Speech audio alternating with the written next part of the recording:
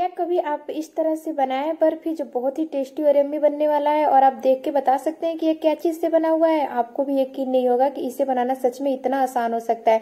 Without मावा without दूध, आप इसे बना के रेडी कर सकते हैं। तो चलिए देखते हैं इसे बनाना कैसे हेलो फ्रेंड मैं Priyanka Priyanka DC YouTube channel में आपका बहुत बहुत स्वागत है। आप लोग को दिल से शुक्रिया। मुझे इतना प्यार और सपोर्ट देने के लिए और अपना इंपोर्टेंट टाइम देकर मेरा वीडियो देखने के लिए, और ये बहुत ही टेस्टी बर्फ़ी बनाए तो चलिए देखते हैं इसे बनाना कैसे है। इसे बनाने के लिए हमें लेना है रावा। जी हाँ सूजी।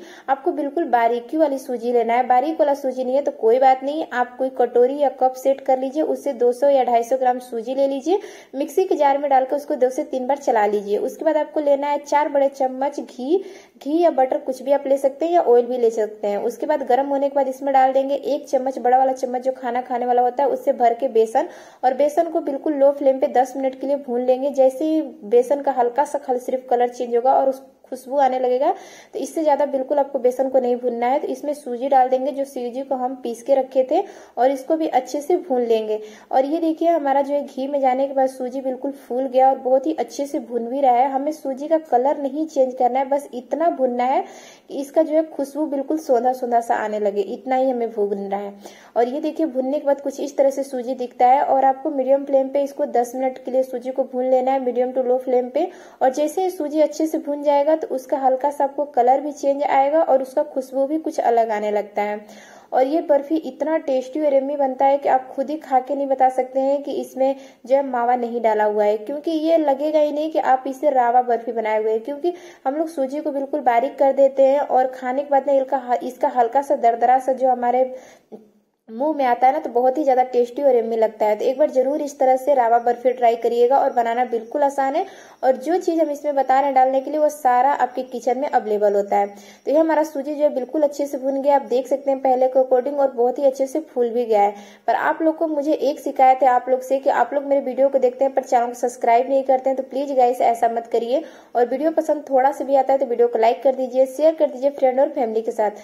और आप लोग को सच में दिल से शुक्रिया था क्योंकि अगर आप लोग मुझे इतना प्यार और सपोर्ट नहीं देते तो यहाँ तक पहुँचना मेरे लिए मुश्किल ही नहीं, बिल्कुल नामुमकिन था, क्योंकि जो है आप लोग के प्यार और सपोर्ट की वजह से और उम्मीद करते हैं कि आगे भी आप लोग मुझे इसी तरह से प्यार और सपोर्ट अपना दीजिएगा और अपना इंपोर्टेंट टाइम निकाल के मेरा वीडियो भी देखिएगा, क्योंकि मुझे पता है कि आप लोग पास टाइम नहीं होता है, फिर भी आप लोग मेरा वीडियो देखने के लिए टाइम निकाल लेते हैं। तो इसके लिए सच में दिल से शुक्रिया था तो ये देखिए, हमारा सूजी बिल्कुल बहुत ही अच्छे से भून गया है तो अब इसे हम हटा देते हैं और अब बनाते हैं चाशनी। जी हाँ अब हमें बनाना है चाशनी। तो चाशनी बनाने के लिए जिस कटोरी या कप से आप सूजी लिए है ना, उसी कटोरी या कप से आपको भर के चीनी लेना है।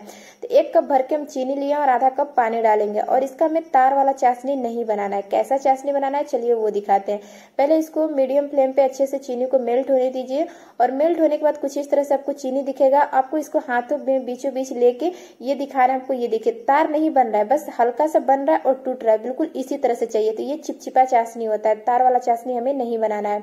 और इसमें डालेंगे दो बड़े चम्मच मिल्क पाउडर। जी हाँ मिल्क पाउडर आपके पास नहीं है तो कोई बात नहीं, दूध का मलाई ले लीजिए, उसको फेंट के इसमें डाल सकते हैं। इसको अच्छे से मिक्स कर देंगे और एक बात का ध्यान रखिएगा कि आपका गैस बिल्कुल बंद होना चाहिए मिल्क पाउडर डालते समय। और जैसे ही अच्छे से मिक्स हो जाएगा, उसके बाद जो चाशनी हम बना के रखे थे, सारा चाशनी डाल देंगे, उसके बाद गैस के फ्लेम को लो रखेंगे। आप चाहे तो बिल्कुल गैस को बंद करके भी चाशनी डाल सकते हैं और गैस के फ्लेम को बिल्कुल लो रख के आपको इसको अच्छे से चाशनी को मिक्स कर लेना है और पैन को छोड़ने तक पका लेना है आपको। ज़्यादा नहीं, बस दो मिनट के लिए पकाना है, इससे ज़्यादा बिल्कुल भी नहीं पकाएँगे लो फ्लेम पे पकाएँगे।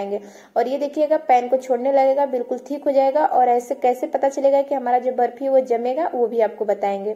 और कोशिश मेरी यही रहती है कि आपको एक एक जो बात है, इसमें बताएँ। फिर भी अगर कोई बातें आपको नहीं समझ में आती है, मन में डाउट है तो आप एनी टाइम मुझसे कमेंट द्वारा पूछ सकते हैं। क्योंकि मुझे आप लोग का कमेंट का इंतज़ार रहता है। जब आप लोग मुझे ढेर सारे प्यारे प्यारे कमेंट करते हैं, पढ़ के बहुत ही अच्छा लगता है और आगे वीडियो बनाने के लिए मोटिवेशन भी मिलता है।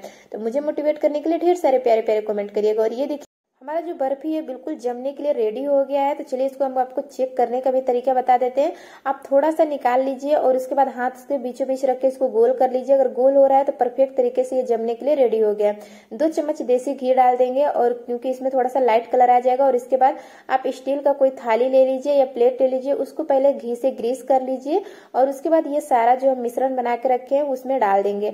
और डालने के बाद इसको हल्का सा ठंडा होने दीजिए। ये तुरंत ही जम जाता है, ज़्यादा देर तक आपको ठंडा भी नहीं करना पड़ेगा। आप ये देखिएगा कि डालते डालते ही ये सेट हो जाएगा। आप देख सकते हैं कि बिल्कुल ये सेट होने के लिए रेडी हो गया है, क्योंकि थोड़ा सा सर्दी का टाइम होता है तो और भी जल्दी ये सेट हो जाता है। थोड़ा सा गर्मी में टाइम लगता है और ये देखिए कितना चिकना लग रहा है ना। इसके ऊपर आप पिस्ता डाल सकते हैं, बादाम डाल सकते हैं, जैसे आप इसको डेकोरेट करना चाहते हैं, उस तरीके से कर सकते हैं। पर इसमें हम थोड़ा से पिस्ता का कतरन डाल दे रहे हैं और ये देखिए बिल्कुल जम गया है तो इसमें अब हम कट लगा ले रहे हैं। आप इसको स्क्वायर शेप देना चाहते हैं या चरकोर में कट करना चाहते हैं, ये आपके ऊपर डिपेंड करता है आप इसे कैसे कट करना चाहते हैं।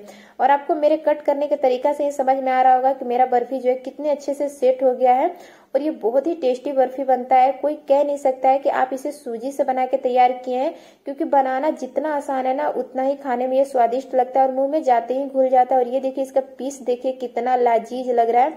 देख के ही आपको समझ में आ गया होगा कि ये बर्फ़ी कितना लाजीज बनने वाला है। तो चलिए देखते हैं इसे बनाना कितना आसान था।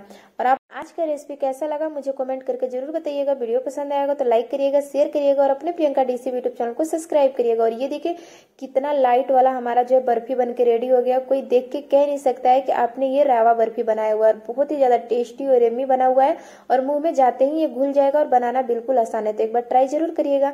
और कैसा लगा ये रेसिपी मुझे बताना बिल्कुल भी ना भूलिएगा। मिलते हैं इसी तरह से एक और नई रेसिपी के साथ। तो चलिए इसको टेस्ट करते हैं कि ये टेस्ट में बर्फ़ी कैसा बना हुआ है।